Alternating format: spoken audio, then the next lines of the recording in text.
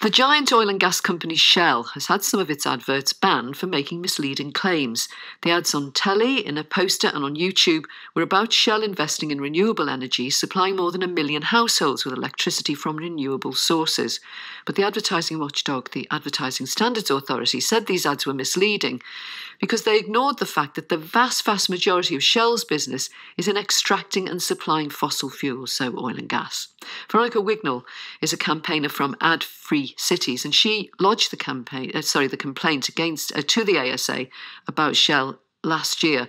Um, Veronica, welcome. Tell me why you wanted to bring this complaint. Well, we saw the adverts in question a year ago in Bristol, actually, and we were confused why Shell, a major oil company was advertising itself as green. Um, so we reported the adverts to the Advertising Standards Authority, and yeah, this morning the ASA has agreed with us and, and banned the adverts because they gave a false impression that Shell is prioritizing green energy when, as you say, the vast, vast majority of their business remains in fossil fuels, which are harming all of us. What Shell told us is that they strongly disagree with the ASA's decision, and they say it could slow the UK's drive towards renewable energy. And, and this is what they say people are already well aware that Shell produces oil and gas, but what many people don't know is that they're also investing heavily in low and zero carbon energy, including building one of the UK's largest public networks of EV charging points. Now, they say this no energy transition can be successful if people are not aware of the alternatives that are available to them. And this is what our adverts set out to show. And that is why we are concerned by this short sighted decision. What do you say to that? This ruling doesn't stop Shell from advertising, it stops it from greenwashing. So Shell can still advertise. It can it just needs to be telling the whole truth about what it's doing.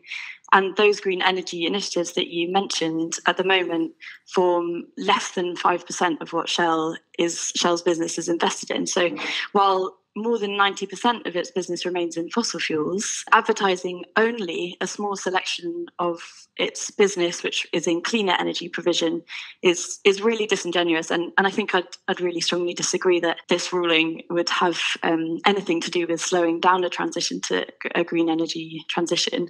What would really speed up a green energy transition is if Shell moved its um, enormous financial weight into clean energy um, and made that a more substantial proportion of their business.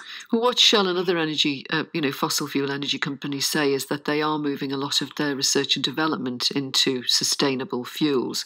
So, just going back to these ads, then, if that poster that you saw had hmm. contained mm. on it perhaps a strapline that said that these renewables accounted for 5% of what Shell does. Would you have been satisfied with that? I think that would be uh, maybe a small step in the right direction. Um, but I think still, you know, climate change is something that matters so much to all of us, matters so much to me, to my family, to, and I know so many people are making changes to try and reduce their, their carbon footprint. And yet, companies like Shell, who are inflicting such enormous damage to the planet, are still being allowed to advertise. And what we'd say is actually a strapline like that would go nowhere to addressing the harms caused by fossil fuel advertising. We'd, we'd actually like to see a full ban on advertising for fossil fuel companies in the same way that we no longer see adverts for tobacco. You know, we once we knew how harmful tobacco was, we stopped promoting it, and we think we need to stop advertising that promotes and greenwashes companies like Shell and others that are causing such harm to all of us.